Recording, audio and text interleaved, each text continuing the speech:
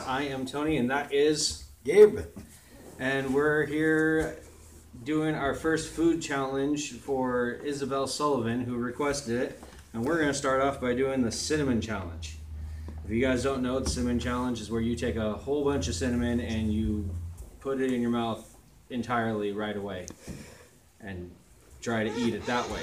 So that's what we're going to do. Yeah. So, However, Gabe, um, yeah, I think we, we We're- need the oops. We need to upgrade.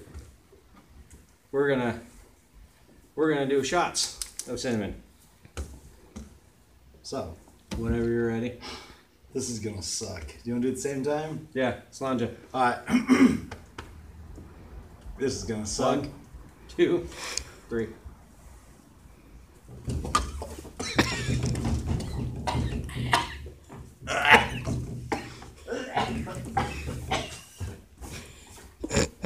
Oh god.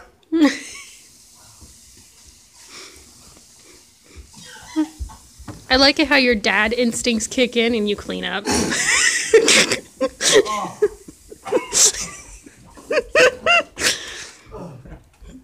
Oh, oh ha.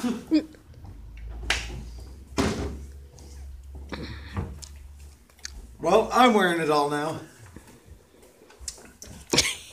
You're moving it.